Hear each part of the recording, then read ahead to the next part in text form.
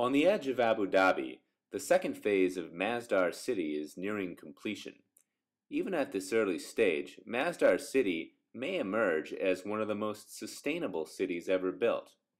Even though it's still mostly a construction site, there's a lot to see inside.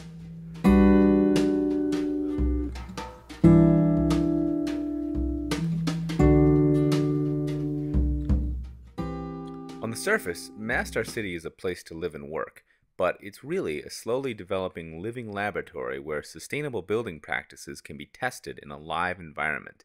Everything from water and waste management to radical transportation experiments are being carried out, as are the selection of like minded business tenants. Significantly, the city is also intended to be commercially viable. After all, that's the only way any of the technologies and practices that are developed here will ever find use in the outside world. The city will ultimately cover a little over two square miles, with development confined to two large squares surrounded by open space. Ultimately, it'll be home to about 40,000 people, with at least that many commuting to work There's here. a ground based uh, bus loop, which will be an electric bus loop, which runs around here and basically connects the, the external car parks. And then we have uh, electric point to point vehicles, which will be you know, small taxis like the, uh, like the Mitsubishis.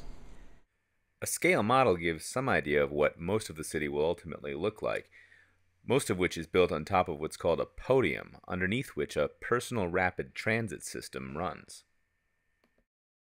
The city's basic structure is inspired by ancient Arabian building techniques that call for narrow shaded streets and the occasional courtyard where people can gather and do business. The buildings are designed to be well shaded to avoid direct sunlight into the windows. They're highly insulated, which helps keep them cool even on hot days, and the outside streets themselves are kept cool and shaded as well. In fact, they employ some really clever tricks. The minute you walk into the city, first thing you notice is a dramatic drop in the air temperature. This is a really big deal under the hot Arabian sun and highly desirable from an energy efficiency standpoint. The special trick is something called a wind tower. The tower, rising well above the rooftops of any neighboring buildings, is a simple empty cylinder with adjustable louvres at the top. The primary purpose is really simple. A tall cylinder is capable of provoking a convection current as hot air rises simply by standing there. This creates a natural current of air flowing from the street level of the city up and out of the top of the tower. The breeze it creates pulls hot air out of the city and makes life in the plaza below considerably more pleasant. If it's a windy day, the tower works in the other direction, pulling wind down into the city. A little water misting at the top makes the breeze even cooler. To top it off, water features throughout the city allow the wind an opportunity to pass across something cool, which continues to drop the perceived temperature another couple of degrees, in addition to providing something pleasant to look at. So, what keeps Masdar City going? Right now, two main things. First is Masdar Institute. The Institute is an independent graduate institute developed in part with MIT.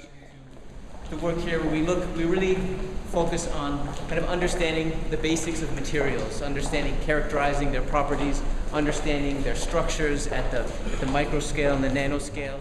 All of Masdar Institute's research is focused on addressing three key sustainability challenges water, Electrons that are in energy, the- in the waste advanced materials. and pass the electrons through different chambers, and then we can transform these waste electrons directly to electricity.